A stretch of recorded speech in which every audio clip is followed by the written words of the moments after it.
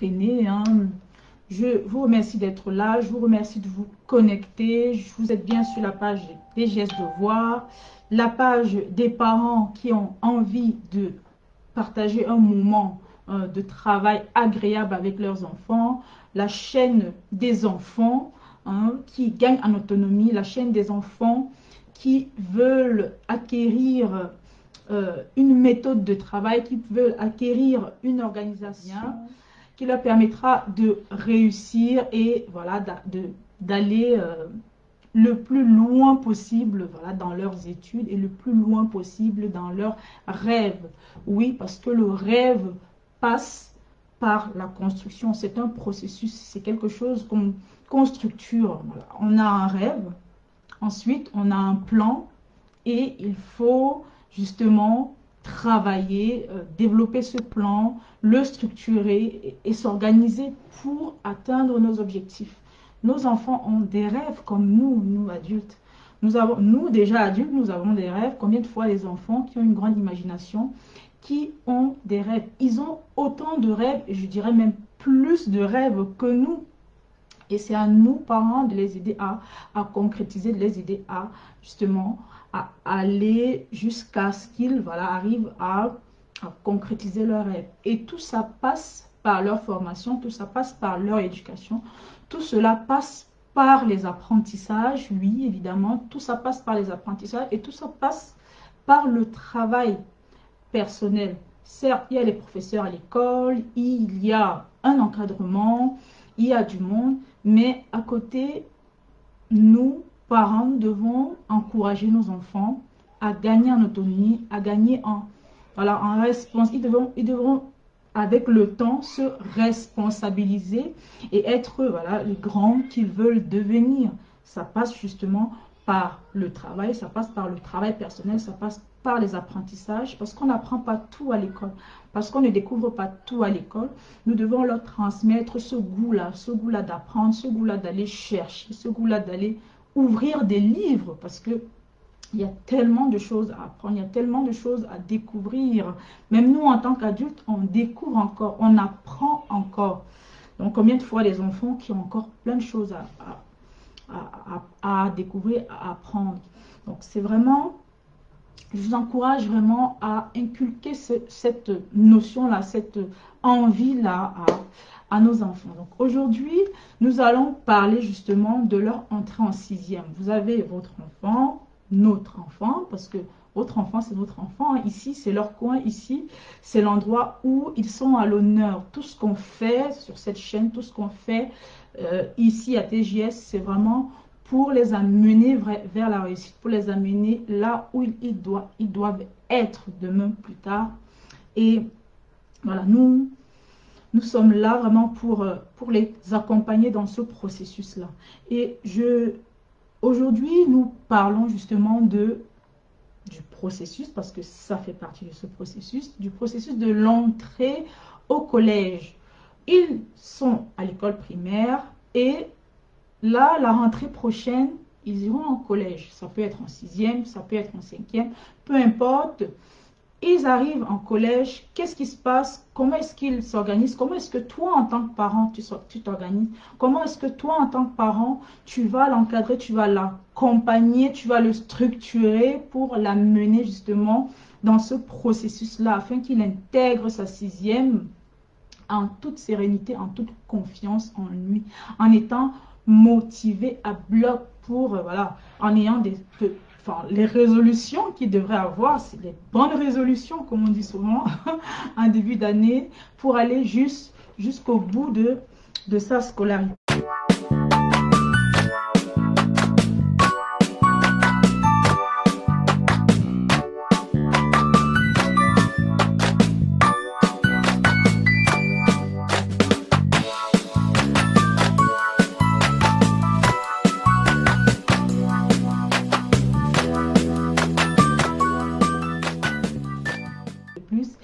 Merci d'être là. Je vais me présenter justement, je ne l'ai pas fait. Je suis Thémathieu Jocelyne, je suis professeur des collèges et je suis aide aux devoirs. Je fais de l'aide aux devoirs aux enfants de, du CP en troisième justement pour les aider dans leurs devoirs, pour les aider dans leurs apprentissages. Voilà, j'aide dans l'organisation, j'aide dans la structure, comment mémoriser, comment euh, euh, se mettre à l'aise voilà, avec l'apprentissage. Parce que vous savez que les moments de devoir ne sont pas toujours perçus hein, comme quelque chose d'agréable. J'essaye de rendre, non, je n'essaye pas, je rends parce que ça marche, je rends le moment de devoir agréable et calme. Parce que voilà, c'est quelque chose qui, qui est dans la tête de, de tout parent comme un moment de contrainte. Et c'est vraiment dommage. Je trouve cela dommage que voilà qu'on perçoit les devoirs comme, comme un moment de contrainte. Et d'autre part, j'aide les parents. Oui, j'aide les parents à justement à, à, percevoir ce temps de devoir comme un temps de partage. Je leur donne les clés, je leur donne des astuces.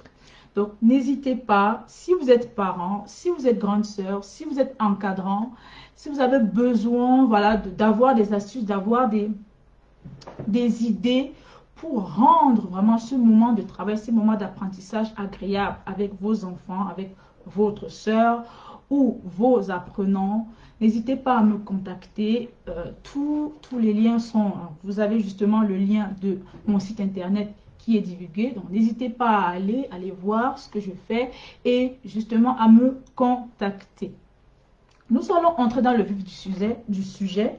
On ne va pas perdre du temps. Vous qui êtes connectés, donc je ne vais pas vous perdre votre temps. Et je suis vraiment très très contente de vous compter parmi nous aujourd'hui, en ce moment. Je suis très fière de vous avoir et voilà. Restez jusqu'à la fin parce qu'il y a une belle surprise qui vous attend à la fin. Alors, je me souviens justement, en ce qui concerne l'entrée en sixième, je me souviens de mon entrée en sixième à moi. Euh, il, y a, un moment déjà. Quand j'entrais en sixième, c'était vraiment les étoiles, c'était les étoiles dans mes yeux, c'était... Euh, voilà, j'étais devenue une grande fille. C'était au Cameroun, justement au Cameroun et euh, pour moi, je devenais une grande fille. Pour moi, je, voilà, je, prenais, je, devenais voilà, celle, euh, celle chez qui on, peut venir demander des conseils parce que j'aimais beaucoup ça. Et lorsque j'arrive, pour moi, J'allais avoir de nouveaux copains, j'allais découvrir de nouvelles choses, mais plus dans l'idée, à l'époque, lorsque j'étais, euh, donc lorsque j'entrais en sixième, c'était vraiment un moment fort pour moi. C'était un moment où euh, bah, je rêvais, où je, me disais que j'allais découvrir un autre monde, mais dans la mesure où c'était vraiment des papillons, j'avais vraiment des papillons dans les yeux. J'étais vraiment heureuse de devoir être au premier banc à l'époque. On adorait bien être au premier banc. Et euh, c'était au Cameroun, parce que j'ai grandi au Cameroun. J'ai fait une grande partie de mes études au Cameroun. Je suis camerounaise. Donc au Cameroun, euh, il y a ce système de tenue. Donc euh, en France, on n'a pas les tenues, mais au Cameroun, on a les tenues. Et donc c'était l'occasion de porter une tenue d'école, une tenue d'école. Donc c'était Vraiment, c'était génial. C'était vraiment l'occasion de, de sortir de ce cadre de petit, qui était le cadre de l'école, on va dire de l'école primaire, et de d'entrer dans le secondaire, d'entrer, ben, j'étais collégienne. J'étais collégienne, c'est un grand mot à l'époque. Et euh, voilà, je voyais ça comme ça. Mais, une fois arrivé collège, une fois entré au collège, le premier jour, le premier jour, j'étais complètement déboussolée. J'étais vraiment déboussolée. Et aujourd'hui encore, lorsque dans l'exercice de mes fonctions au collège, je vois certains élèves, ils arrivent complètement déboussolés. Mais je me suis posé la question, savoir pourquoi est-ce qu'ils sont autant déboussolés? Je ne sais pas, vous avez certainement une réponse, vous en tant que parent. Je ne sais pas si l'enfant est déjà rentré à un moment donné et vous a demandé et vous a fait comprendre que voilà le premier jour était un jour difficile pour lui était aujourd'hui en sixième, c'est vraiment un moment pour nos enfants pas évident. Pour certains, probablement, mais pour d'autres, ce ne l'est pas parce qu'ils ne savent pas où ils vont, parce parce que c'est un, un endroit, c'est nouveau. C'est un endroit qui est nouveau, c'est un endroit ne connaissent pas. C'est une organisation nouvelle. Donc, je me souviens, comme je le disais dans la vidéo précédente, de, des moments de comment nous, moi, en sixième, comment on était vraiment très bien, comment... Voilà, pour nous, c'était le moment, c'était le moment. C'était l'endroit où il fallait être, être au collège. Et surtout, comme je parle, comme je disais, de mettre une tenue, de s'habiller, de mettre une tenue. Il y avait une tenue de classe. Je me souviens, il était, on avait un haut, en haut c'était bleu, bleu ciel, et en bas c'était kaki. Donc c'était voilà, c'était très joli, c'était un très beau mariage de couleurs. Et le premier jour, nous étions tellement heureux, moi et mes camarades, mes camarades de l'école primaire, parce que certains étaient allés dans le même collège que moi.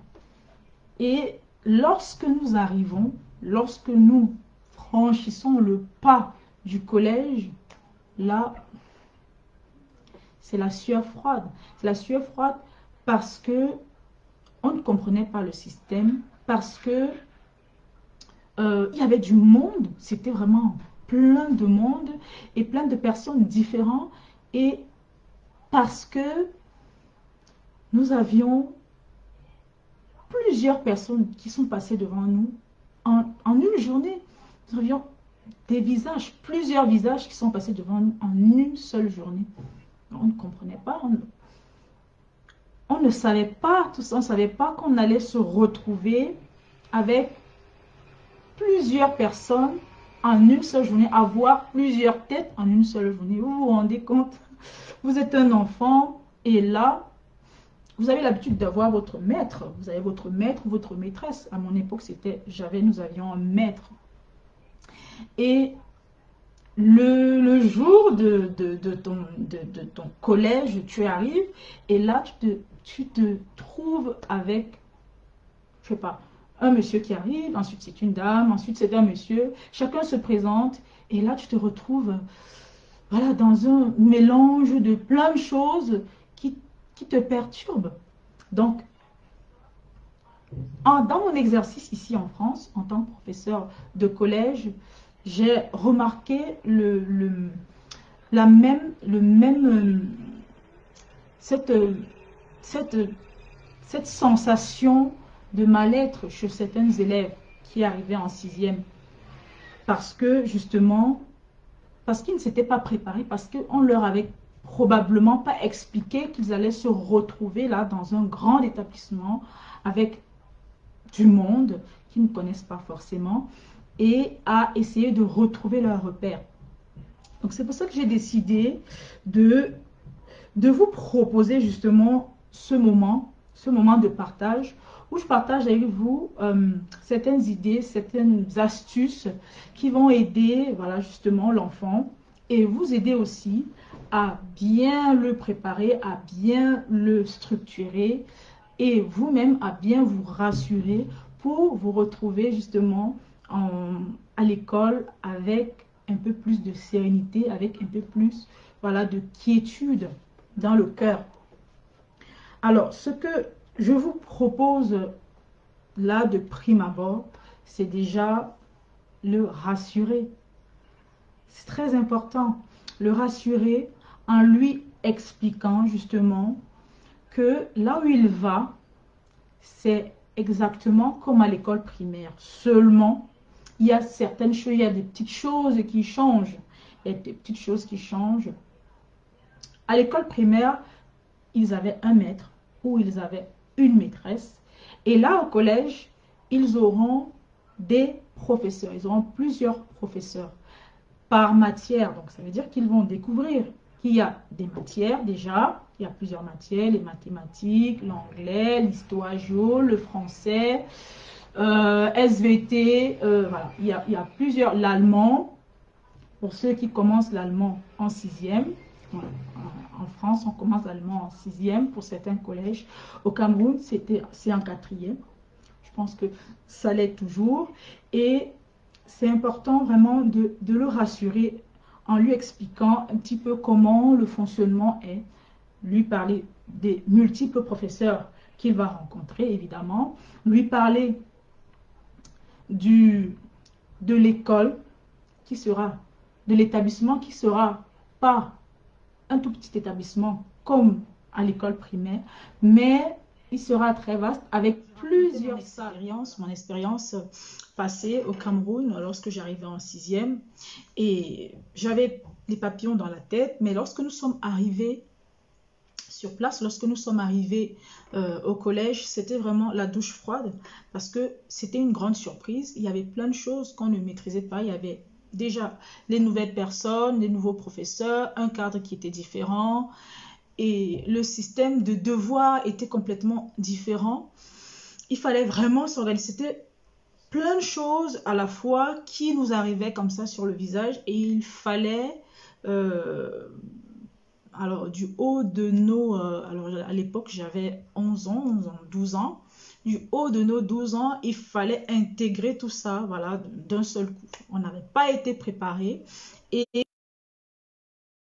dans lesquels j'ai enseigné, j'ai rencontré des élèves de sixième qui se sont retrouvés dans le même cas et qui, étaient complètement perdus. Donc, je disais que euh, dans ce live, on va continuer, on va essayer de trouver les astuces, de mettre euh, certains points sur les i, on va dire, et de donner les, conseils, de donner les différentes astuces à, les différentes choses à prévoir auxquelles on devrait penser en tant que parent quand notre enfant entre en, à l'école euh, en sixième et en collège de, de manière générale, quoi qu'il en soit.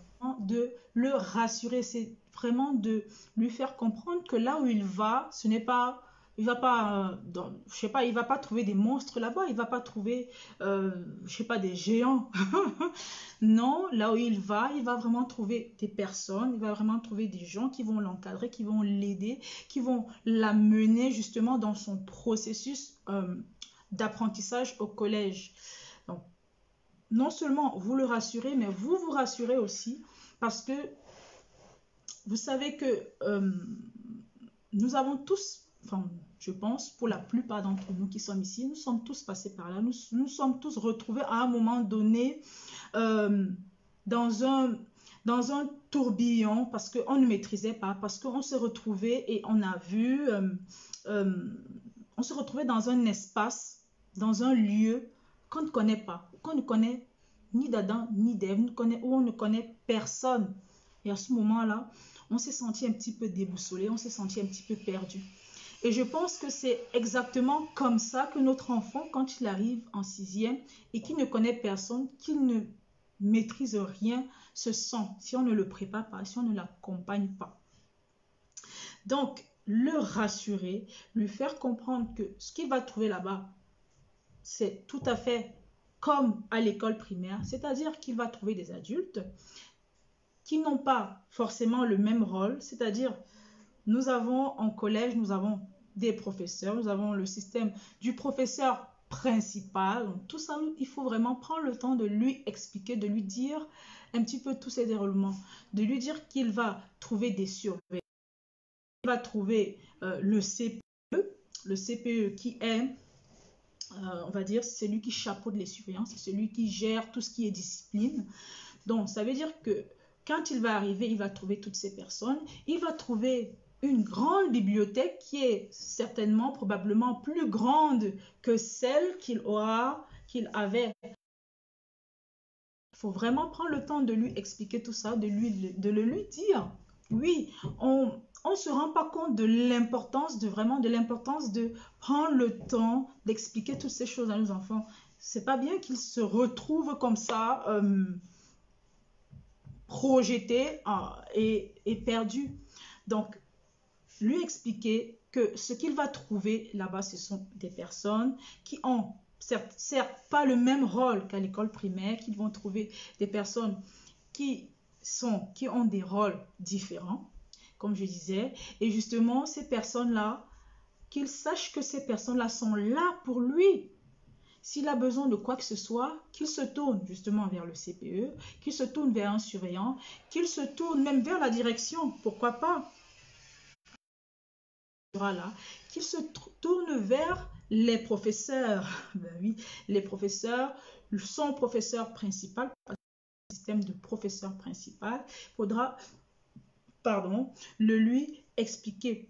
Donc, nous savons que euh, en sixième, lorsque l'enfant arrive en sixième, les horaires, le temps de travail, le temps d'apprentissage augmente parce qu'il y a plusieurs matières.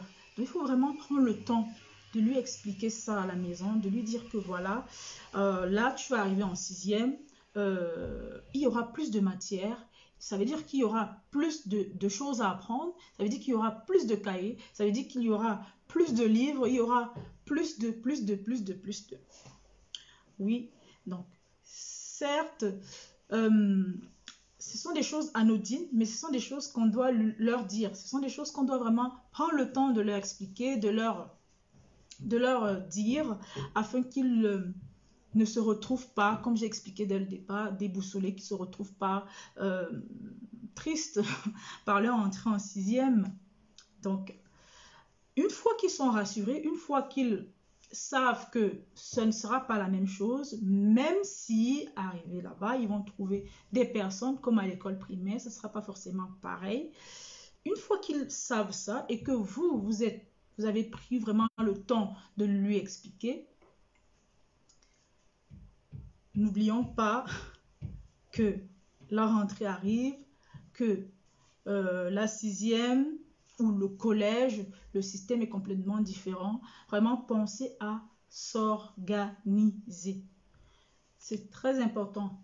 Le rassurer, certes, mais être organisé parce que si on n'est pas organisé, le jour J, ça sera vraiment la panique. On partira dans tous les sens. Donc, qu'est-ce que je propose généralement aux parents? C'est évidemment de faire son cartable. Faire son cartable pour l'aider à à se retrouver le jour J. Donc, qu'est-ce qu'on doit mettre dans son cartable? C'est évidemment, en fin d'année, on donne une liste, on donne généralement une liste qui leur permet, euh, voilà, qui leur permet, et nous aussi en tant que parents, d'aller faire les cours, d'aller faire les emplettes et de choisir justement ce qu'il faut le nécessaire pour la rentrée. Nous avons traversé justement une période difficile avec le corona qui nous a un petit peu embêté. Probablement, vous n'avez pas été à l'école pour prendre les fournitures. Donc, je pense que enfin, nous sommes en fin de vacances et que maintenant, il faut rapidement aller à l'école. Je pense que l'école a déjà ouvert, les écoles ont déjà ouvert. Il y a déjà des accueils qui se font. D'aller prendre la liste des fournitures, justement, pour commencer à faire, à faire euh, à faire les courses et acheter le matériel.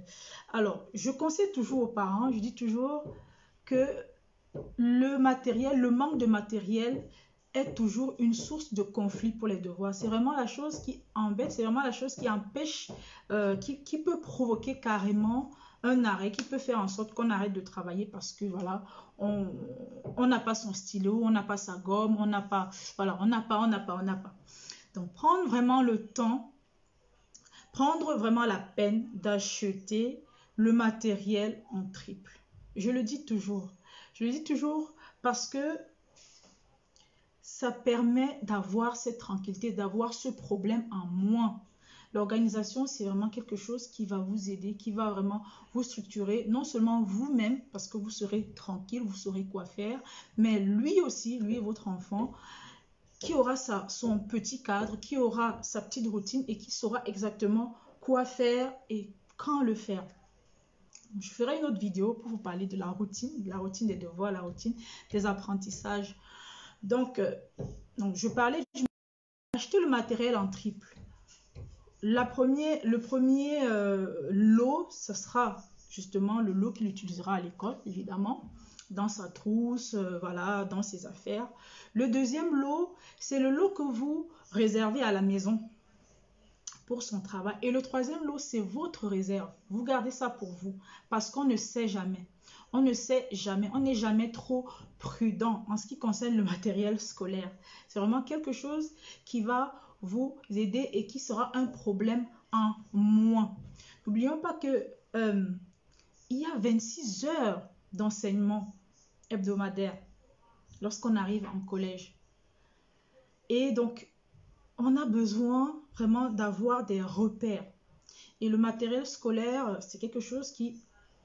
L'organisation dans son matériel scolaire, l'organisation de son sac, ses cahiers, son emploi du temps, vraiment penser, c'est maintenant qu'il faut le faire. C'est maintenant que vous devez le faire pour être vraiment serein, pour être tranquille à, à la rentrée. Alors, j'ai fait une petite vidéo sur les agendas. Vraiment, pourquoi, pourquoi pourquoi est-ce que vous devez faire en sorte que son agenda soit euh, le choix de l'agenda soit le, le, meilleur choix pour lui? Parce que c'est là-dedans qu'il va prendre ses devoirs, c'est là-dedans qu'il va noter le travail à faire, c'est là-dedans qu'il va pouvoir s'organiser. Donc, achetez-lui non seulement un agenda qui lui plaît, certes, mais un agenda dans lequel voilà, tout sera vraiment très clair, tout sera vraiment très structuré pour l'aider à à passer son année et à noter ses devoirs, son travail correctement. J'ai fait une vidéo là-dessus. N'hésitez pas à aller regarder pour savoir comment choisir le bon agenda, le meilleur agenda, l'agenda idéal pour, pour votre enfant. Alors, nous parlons d'organisation, nous parlons euh, voilà, de matériel, d'achat du sac, son sac le sac de nos enfants. Oh là là.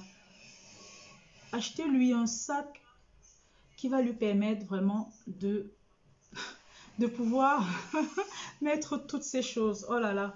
Je, me souviens et je vois encore aujourd'hui les, les, enfants avec leurs sacs qui, voilà, qui sont même plus lourds que.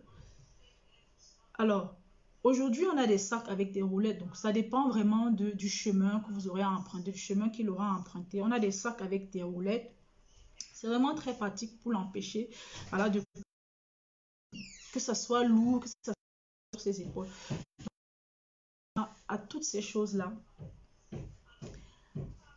à, à, tout, à, voilà, il y en a tellement, il y a tellement de choses à prévoir que si vous attendez la dernière minute, eh bien, vous serez complètement déboussolé.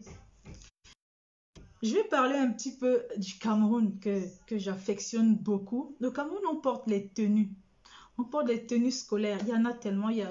Si, vous avez porté la tenue euh, étant jeune, n'hésitez pas à écrire en commentaire que vous avez porté la tenue étant jeune et les couleurs, les différentes couleurs de tenue. Voilà. C'est l'occasion, c'est maintenant. C'est maintenant qu'il faut aller voilà, euh, faire confectionner la tenue de l'enfant, se renseigner sur les tenues, confectionner la tenue qu'il faut à, ses mesures, comme il aime, hein, avec les couleurs imposées par l'établissement. C'est maintenant qu'il faut le faire. ce n'est pas à la dernière minute. Si c'est l'établissement qui donne justement, euh, qui donne la tenue, il faudrait justement aller à l'établissement maintenant. Je pense que c'est déjà ouvert pour vous renseigner. N'attendez pas la dernière minute parce que après, ça part dans tous les sens. Donc, on a parlé d'organisation. La troisième chose que je vais partager avec vous, c'est vraiment de mettre en place ce que j'appelle des rituels. Mettre en place des rituels. Alors, le rituel, qu'est-ce que c'est que le rituel? Le rituel, c'est ce sont des habitudes, ce sont des choses qu'on fait de manière habituelle, qu'on fait, qui permet à notre cerveau, voilà, de, de prendre un rythme, d'avoir un rythme de, de vie, voilà, un rythme qui va lui permettre de développer.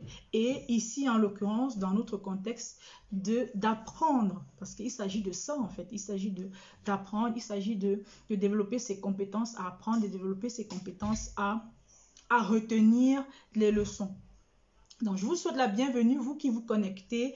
N'hésitez pas à liker, à partager autour de vous. Ça peut aider un maman, ça peut aider une maman, ça peut aider un, papa qui a besoin voilà, de, de repères, qui ne sait pas comment s'y prendre à cette rentrée qui, qui arrive.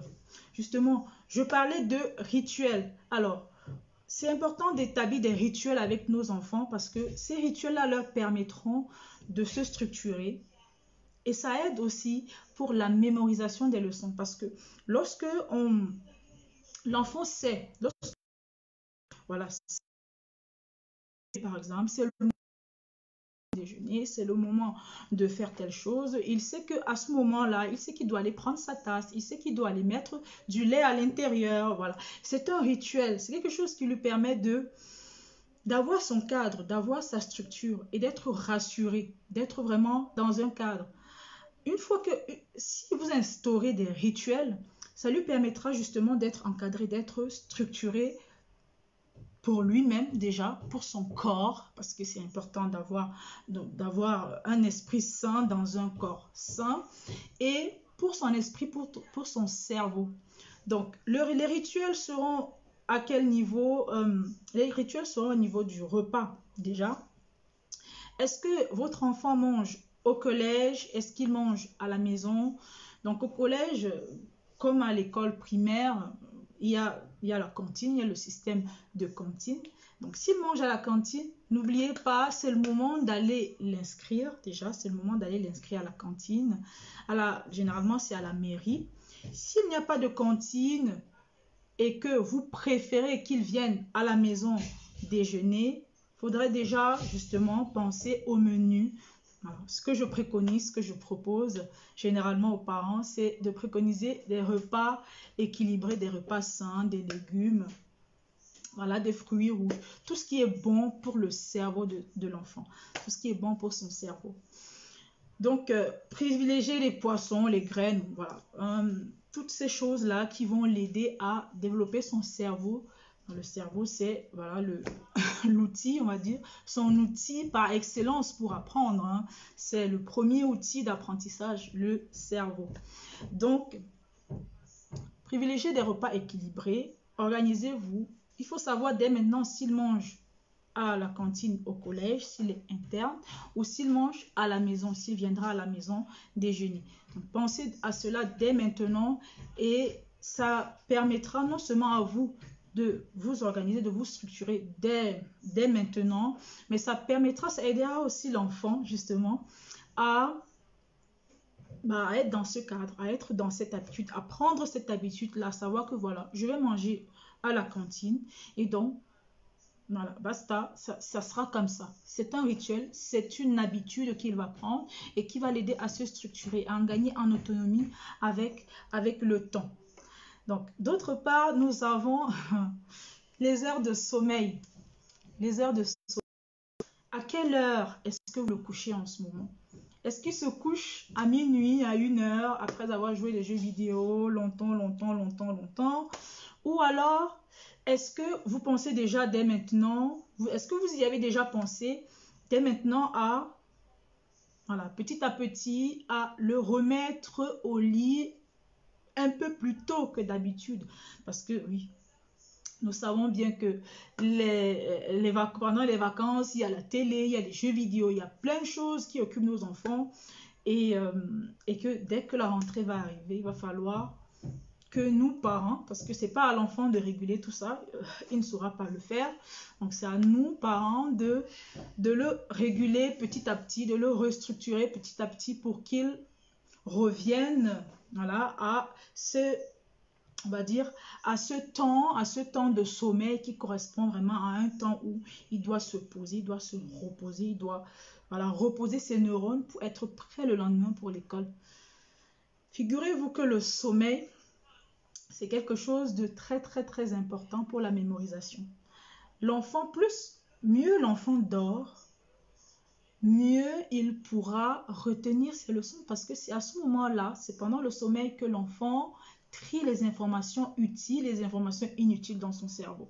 Donc, euh, c'est bien qu'avant de dormir, qu'il ait mis des informations quand même qui vont l'aider le lendemain à, à avancer plutôt que d'avoir joué à un jeu vidéo pendant toute la nuit et de passer la nuit à recesser ce jeu vidéo qui ne lui apportera probablement rien le lendemain pendant son temps, son temps d'école. Donc, instaurer un, temps de sommeil où il pourra dormir le plus tôt possible, évidemment, et se réveiller donc le plus tôt possible pour aller, à, à l'école, au collège. Ensuite, euh, les rituels des devoirs.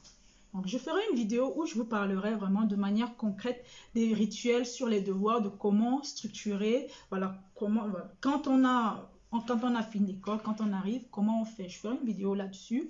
Mais euh, pour l'instant, j'attire votre attention sur le fait que euh, les devoirs, vraiment, il faut avoir des rituels. C'est très, très, très, très, très important. Instaurer un rituel de devoir avec l'enfant que lorsqu'il arrive à la maison, il sait qu'il a tel nombre de temps pour se poser, il a tel nombre de temps pour prendre ses affaires, il a tel nombre de pour travailler. Enfin, c'est vraiment un processus. Pensez vraiment à instaurer ce rituel. Vous verrez que ça l'aidera avec le temps à se structurer et à se mettre, voilà, à gagner en autonomie, à, à se responsabiliser même. Parce que vous, en amont, vous aurez fait le travail. Je ne dis pas que voilà, ça va arriver dans un claquement de doigts, et hop, vous allez y arriver tout de suite. Non, ça va vraiment prendre le temps, certes, mais c'est quelque chose qui va le structurer, l'aider même le responsabiliser pour tout son processus là. Même en, étant universitaire, il saura, il saura que il a des rituels, il saura qu'à tel moment je dois faire telle chose et à tel moment je dois faire autre chose. Donc, instaurer cette routine, cette routine de travail là, et vous verrez que ça va, ça va l'aider. Je ferai une vidéo pour vous expliquer euh, avec plus de détails. Je vous proposerai un, rituel, un temps, une routine de devoir et vous adapterez en fonction de votre programme, en fonction du programme de, de, votre, de votre enfant. Alors, euh, l'une des choses que je peux aussi vous conseiller pour qu'il entre voilà, en collège avec plus de sérénité, c'est si vous sentez si vraiment si vous sentez que pendant le cours de l'année, pendant le cours euh, du processus, de son processus de l'année prochaine, quand il sera en collège, vous sentez que vous n'aurez vraiment pas de temps, vous êtes débordé, vous avez tellement de travail, il y a trop de choses à faire et que vous n'aurez même pas le temps de l'encadrer, d'être autour de lui, n'hésitez pas dès maintenant à demander, à demander de l'aide. N'hésitez pas à demander de l'aide. Parce que un enfant qui est abandonné, un enfant qui est livré à lui-même, c'est un enfant qui s'égare, c'est un enfant qui se perd vraiment, qui ne saura pas comment faire les choses parce qu'on ne lui a pas montré.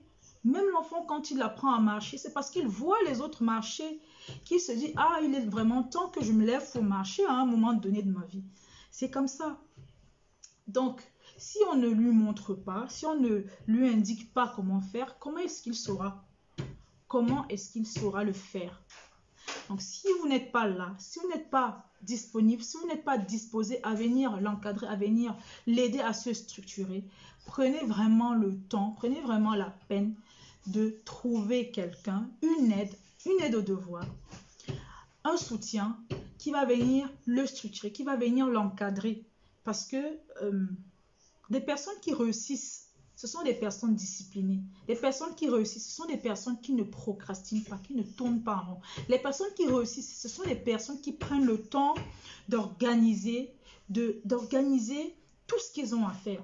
Et c'est exactement comme ça que vous devez voir euh, l'éducation de votre enfant, que vous devez voir l'école, que vous devez voir les devoirs, que vous devez voir les apprentissages de l'enfant. C'est exactement comme ça que vous devez voir ça.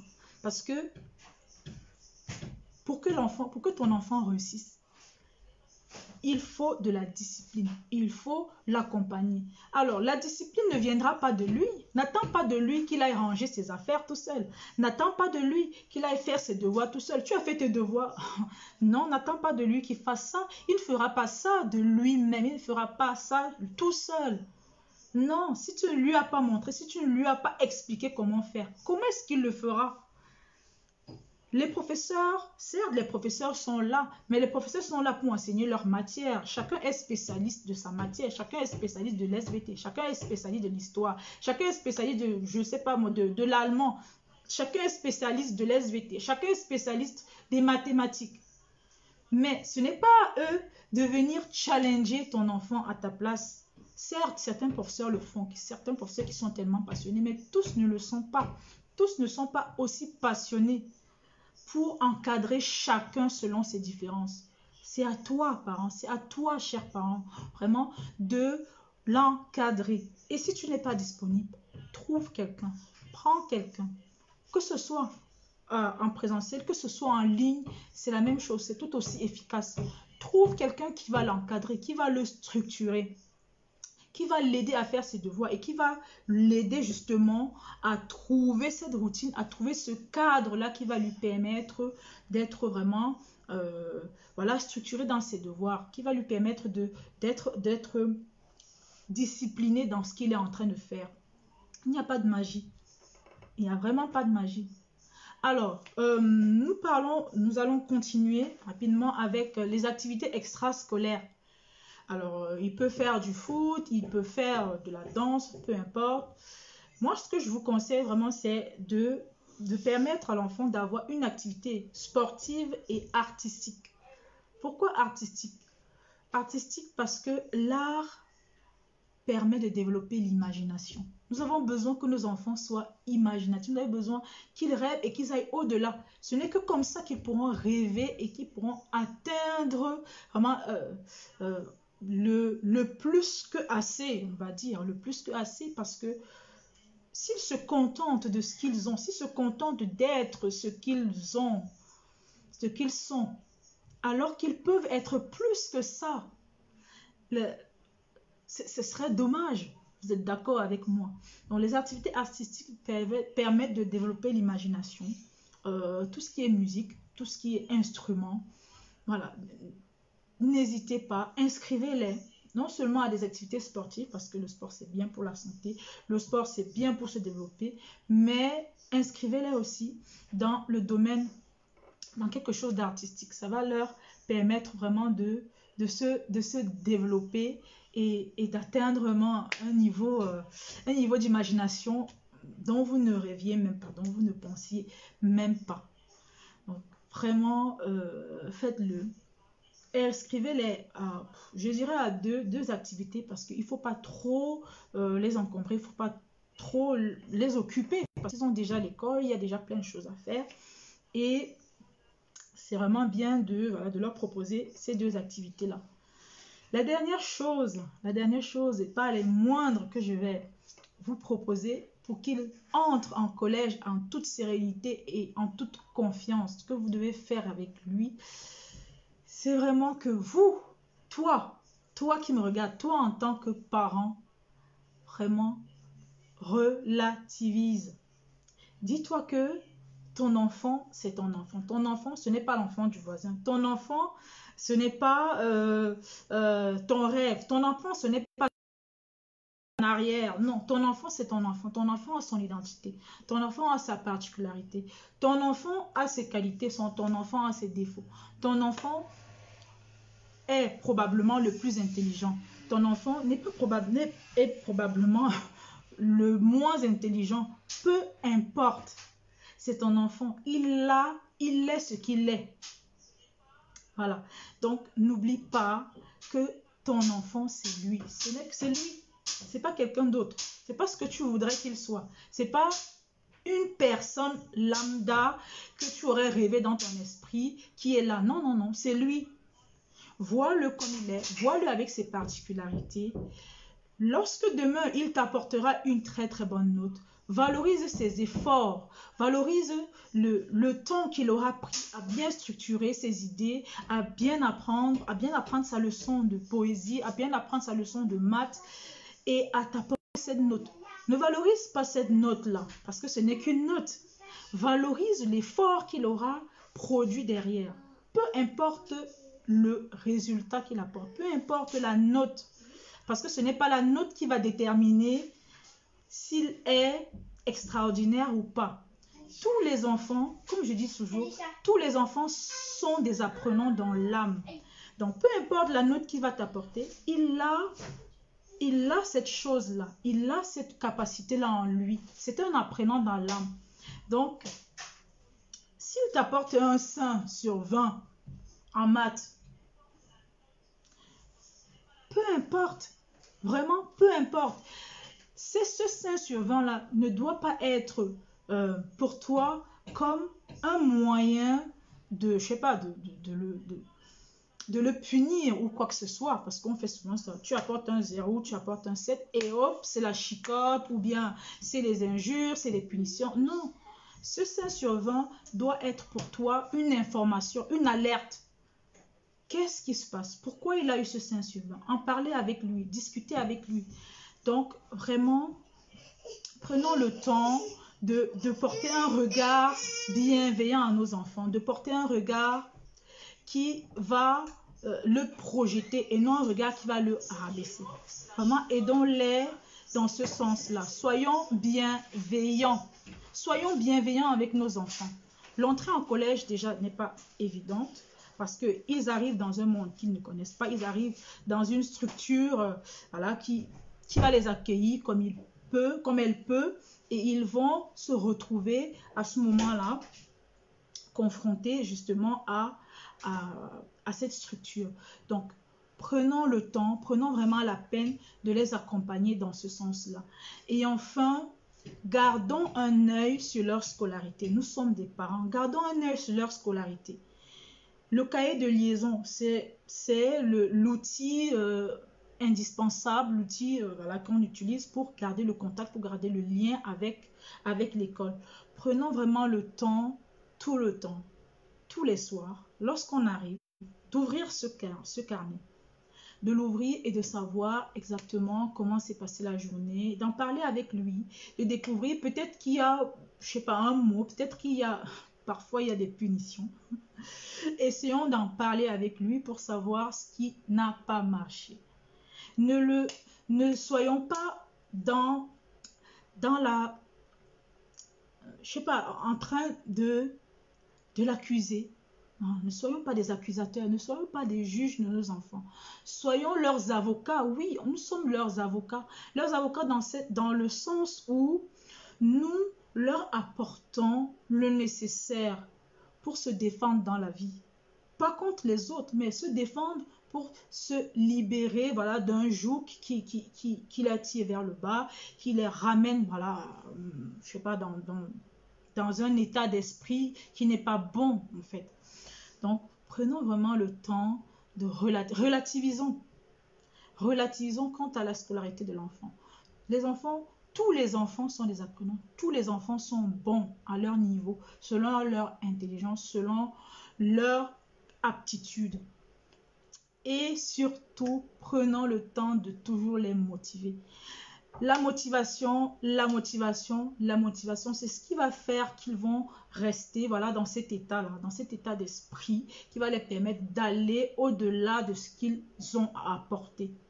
Tant que l'enfant sait que tu es là l'encadrer, tant que l'enfant sait que tu es autour de lui, il sera très content, il sera très fier. Il va se dire qu'on s'intéresse à moi, qu'on pense à moi, qu'on est là pour moi.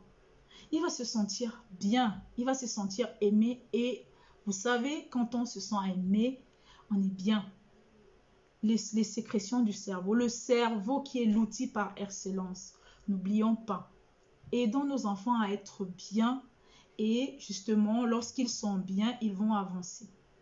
Donc, en ce qui concerne la motivation, j'ai fait un petit cadeau. J'ai un petit cadeau pour vous qui vous est réservé justement pour les aider, pour les aider et même les plus récalcitrants à rester motivés, à rester motivés, à rester toujours euh, euh, voilà sur le qui-vive pendant toute l'année scolaire. J'ai prévu un petit cadeau pour vous. N'hésitez pas à aller le télécharger sur mon site internet tgs-devoir.com, donc devoir au pluriel. N'hésitez surtout pas, le lien est là. N'hésitez pas à aller télécharger et à l'appliquer, vous verrez que ça marche. N'hésitez surtout pas. Donc, je suis très très contente d'avoir été là. Je suis très contente. Je ferai donc justement une vidéo pour vous montrer comment faire un rituel ou faire euh, oui, un rituel de, de, devoir, on va dire, pour que vous, vous essayez de l'appliquer selon votre programme, selon votre organisation à vous, avec vos enfants, et vous verrez que ça marche. Les rituels aident vraiment. Je suis très très contente d'avoir été là. Excusez-moi, ça a été coupé, mais c'est pas grave, je suis là. Donc je suis très très contente d'avoir été là avec vous. N'hésitez surtout pas à aller imprimer, aller télécharger le petit cadeau qui est dans le site et restez connectés à TGS Devoir parce que ici nous aidons les parents, nous aidons les enfants à devenir non seulement des encadrants qui sont dans la sérénité, qui sont dans l'aide, qui sont dans le partage pendant les temps de devoir et d'apprentissage, mais nous aidons aussi les enfants à devenir des apprenants par excellence et à rester justement les apprenants qu'ils sont, les apprenants par excellence qu'ils sont, avec des temps de devoir agréables, temps de devoir qui font appel à l'empathie, qui font appel au bien-être de l'enfant, parce que c'est ce qui compte, c'est ce qui compte, c'est ce qui fait que nos enfants deviendront des Steve Jobs de demain, que nos enfants deviendront des Nelson Mandela de demain, des personnes inspirantes. je vous remercie d'avoir été là et je vous dis à très très bientôt pour un autre live. Merci beaucoup. Bonne journée.